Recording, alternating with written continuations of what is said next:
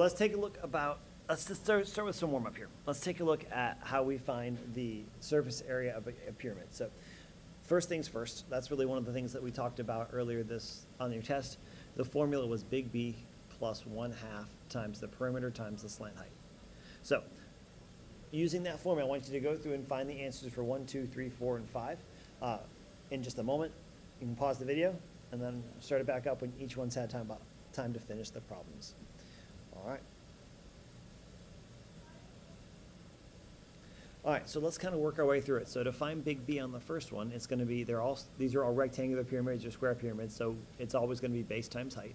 So in this case, our big B is equal to 6. So we're going to say 6 plus 1 half the perimeter, so 3 plus 3 plus 2 plus 2 is 10, times the slant height, which is 7. So what I'm really doing is going to say 6 times plus 35, so that one's a total of 41 inches squared.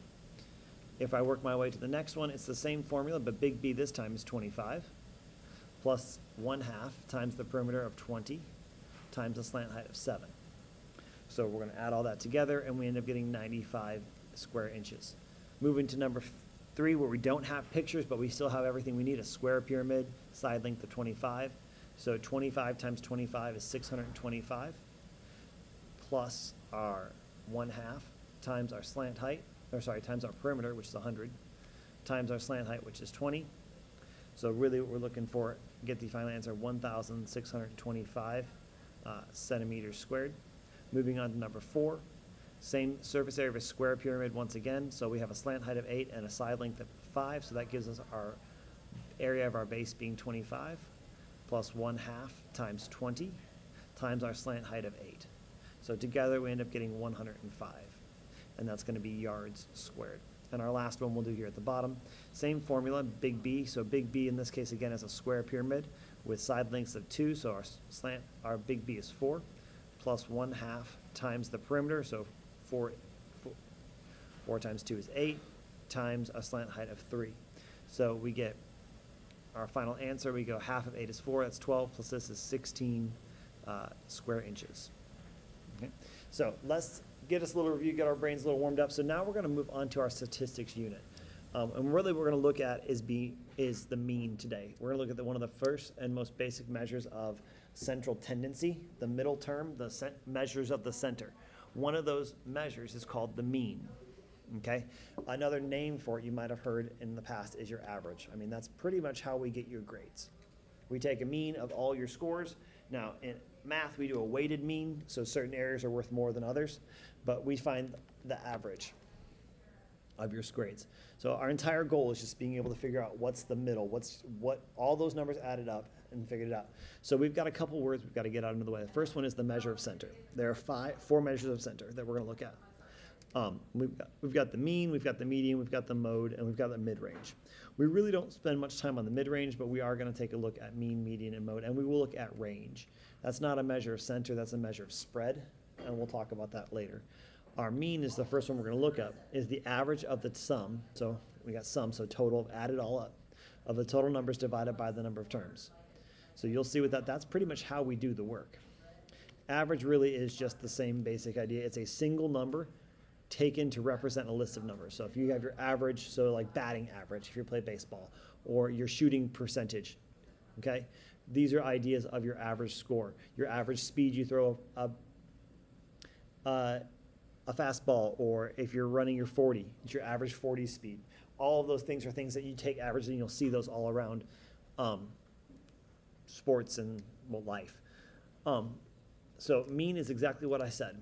So the idea behind mean is it is the measure of center. If I take all my numbers, think of it this way, it's kind of like the balance point. If all my numbers are here, my mean has to be dead center middle. Okay?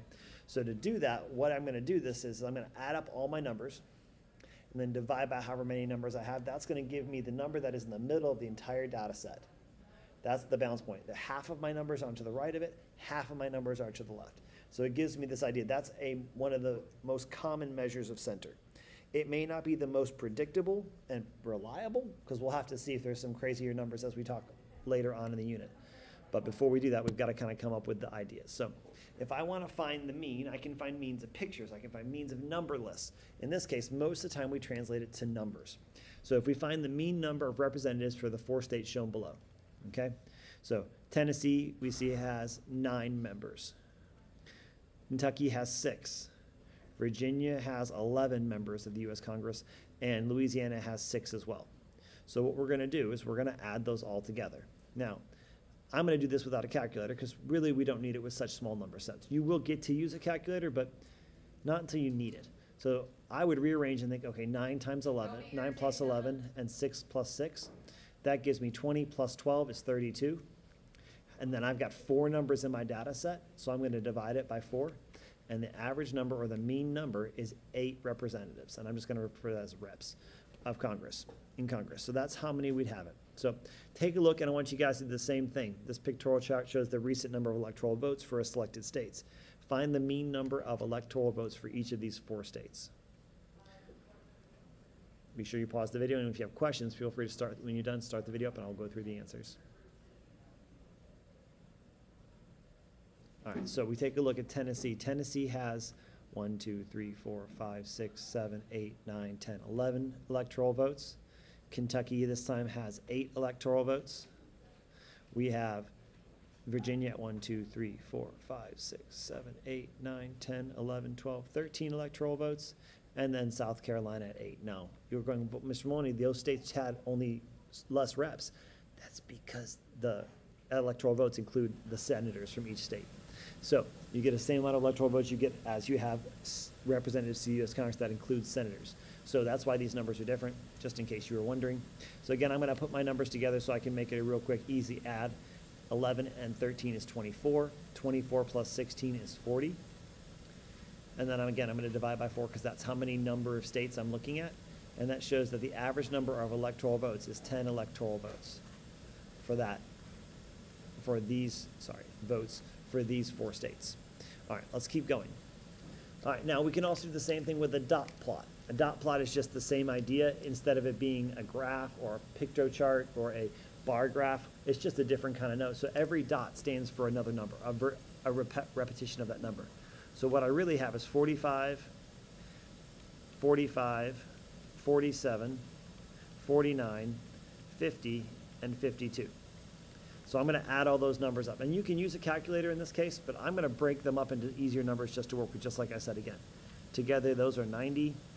Together, these are 102. Together, this one's going to be uh, 96. So now when I add those up, it's just a little easier. I've got 186, 286, 288 is my number, and I'm going to divide it by 6. So again, I can use a calculator, but really there's no need yet. So it goes into it 4 times 24, subtract, I have 48.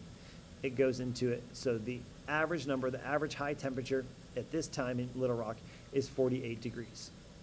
And we're assuming it's Fahrenheit because this is the US and we don't do Celsius temperatures. And if it's 48 degrees Celsius, it's really, really hot.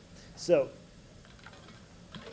pardon me, let's take a look at, let's have you guys give one a shot. So take a second and figure out uh, the average score of this one. Now, I am going to make one little note. You'll see my chart, this would be 154. So in between it would be 155. So take a second, pause the video, and come up with the average score for Joel's bowling over the last two weeks. All right, so let's bring this together again. 147 was his first score, 150, 154. Then he has two scores at 155, 155, another 155, no 156, 157, 165, and a 170. So this is where I'm going to probably take my calculator, and because the numbers are getting larger, might as well go ahead and use the calculators. So I hope you guys were doing that. This is what I mean by, hey, if I don't need my calculator, I probably should get used to not using it a little bit. Okay? So if I added all those numbers up together, though, I get 1,253. And I divide this by how many terms? One, two, three, four, five, six, seven, eight scores. So I'm going to divide it by eight. And again, calculators are great. It says that he's average score is 156 and 625 thousandths. So probably his average score is between 156 and 157. And we kind of look, that happens to be where a lot of the numbers are located. And we'll talk more about that as we explore different measures of central tendency and mean absolute deviation and things like that as we look through the unit. So, all right, let's take a look at another type. All right, so another dot plot. Now, baseballs are notoriously low-scoring games, so there's really no need to use our calculator on this one. Find the mean number of runs, runs in the series. So, first game they got one, second game they got three, the third game they got four, and another game they got four. So don't need to add this up. This ends up being 12. 12 divided by 4. So the average number of points scored or runs scored is three runs per game. Okay, go ahead and figure this one out for the average number of pets owned by Jennifer's reading group.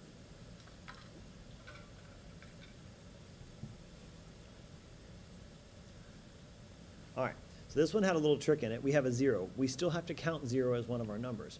Zero, one, two, two, three, and four. So adding all those together, I get 12 again, but this time I have six members. So the average number of pets is two pets in this group. Okay, some of you might have more or less. Okay, so now we've got slightly larger numbers. This is where you're going to break out your calculator. You're going to look at it and see, okay. So if the number of minutes Marianne spent talking on herself on each month in the past five months are 494, 302, 486, 5, 690, and 478. Suppose the mean for all six months is this. How many minutes did she speak the six months? Well, that's where we're going to have to start working our way backwards. So if you think about mean, mean, right here, is the total, is the answer to the total divided by the number of months. Okay?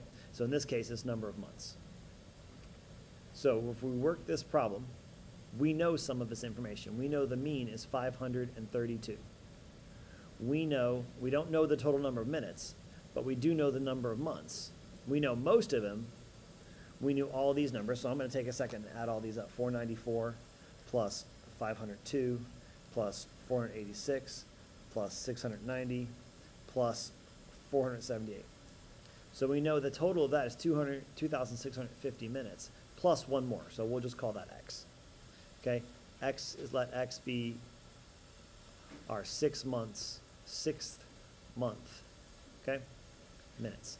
So if I work my way backwards, I can kind of start thinking. There's a set of parentheses up here, so I can't do anything with that. How do I get rid of divided by six? Well, I know how I do that. I subtract.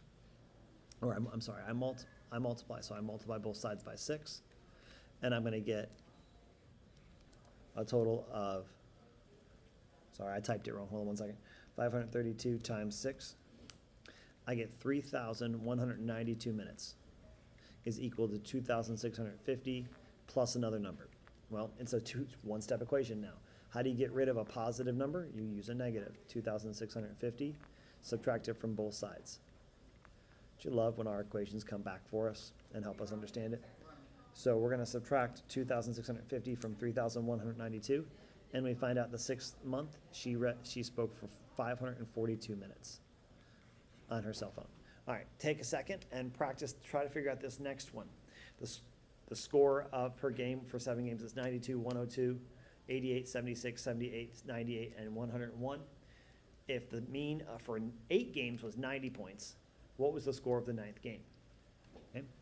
Pause the video, and then you can restart it when you're ready to talk about the answers.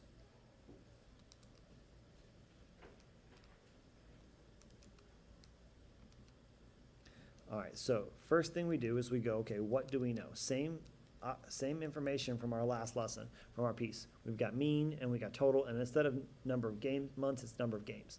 So we know our mean was 90. We know that's equal to eight games. I went ahead while y'all were while the video was paused and added up the seven games I do did know was 635 plus x. X is the eighth game. Okay. So now I'm going to work my problem in reverse. 8 times 90, so I multiply both sides by 8, is 720, which is equal to 635 now plus x. And I subtract 635 from both sides. So that gives my final score of that game. X is equal to 85 points. Not one of their lowest scoring games, but somewhere a little bit more towards the bottom. Okay? All right. Now that we've done all of those, here's your last little bit. I want you to generate a set of numbers with no more than eight data digits that has a mean of four and a half. So this time, I've given you the mean, I've given you the data points, we're working that same problem. This time, you have to come up with eight different points, eight different number points. And I'll take a look at this when I return on Monday. If you have questions, please be ready to come see me Monday morning, and I'd be happy to help you. Y'all have a great weekend.